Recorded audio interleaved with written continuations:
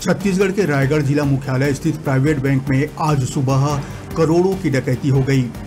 Bank खुलते ही car में डकैत पहुँचे और चाकू के बल पर मैनेजर समेत स्टाफ को बंधक बना लिया।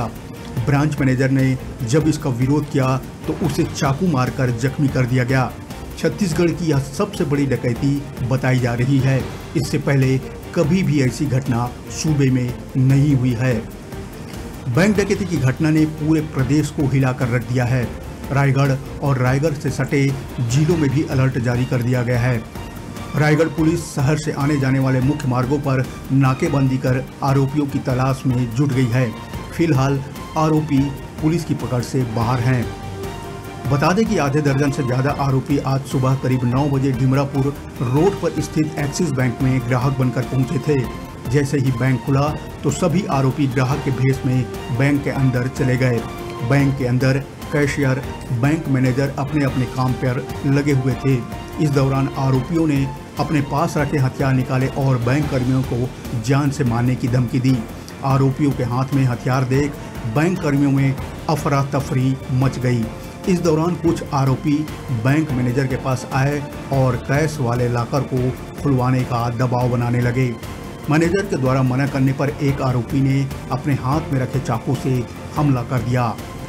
इस हमले के बाद डकैत बैंक के लाकर से सात करोड़ रुपए लेकर फरार हो गए।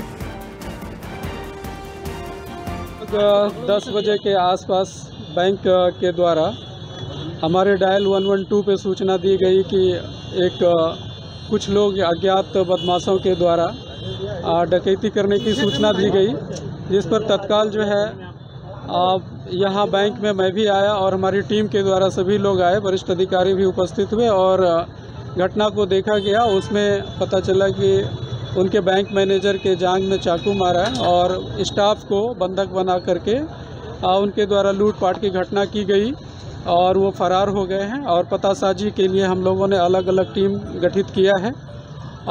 इसमें हम लोग अब इस दिशा में काम करना शुरू किया अभी अमाउंट वो लोग कैलकुलेट नहीं कर पाए हैं लेकिन कैलकुलेट होने के बाद फिर आपको बता दिया जाएगा। रकम बड़ी है सर? रकम बड़ी है ये बताया जा रहा है सर।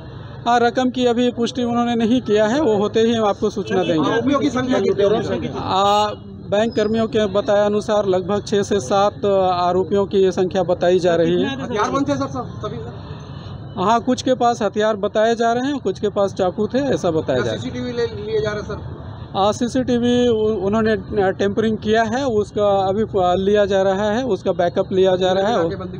आ, सभी ज़िलों में और सरहदी ज़िलों में इसके बाद अन्य राज्यों के राज्यों में भी बात करके नाकेबंदी के का पॉइंट दिया गया। है बैंक मैनेजर जख्मी हुए हैं जैसे प्राथमिक उपचार कर वो वापस लौट गए उनसे हम लोग बातचीत कर रहे हैं। हाँ बताया गया है। सर थे सर अभी इनिशियल है अब आप लोग सीसीटीवी फुटेज देखने के बाद फिर अब आप लोगों को आगे क्लियर करेंगे। ठीक है भाई घटना की जानकारी मिलने के बाद हड़कंप मच गया। एसएसपी सदानंद और पुलिस के आला अधिकारी मौके पर पहुँचे हुए हैं। जाँच फ़िलहाल जारी है। बैंक के मैनेजर को भी गंभीर हालत में अस्पताल में भर्ती कराया गया है। बैंक के अंदर हुई डकैती की घटना का कुछ फुटेज सीसीटीवी में कैद हो गया है। बैंक के बाहर चार पहिया वाहन भी दिखाई दे रही है। पुलिस इन सीसीटीवी फुटेज के आधार पर आरोपियों की खोज में जुट गई है। पुलिस को आशंका है कि आरोपियों ने इस डकैती के लिए पहले से योजना बनाई थी। घटना से पहले रेकी की गई और फिर वारदात को अंजाम दिया गया। आरोपियों को पता था कि बैंक में सुबह के समय भीड़ नहीं होती, इसलिए पूरी योजना के तहत डकैती की इस बड़ी वारदात को अंजाम दिया गया। फ़िलहाल पुलिस जाँच में जुट गई है। पुलिस ये भी पता लगा रही है कि आखिर बैंक में कितनी नकदी थी।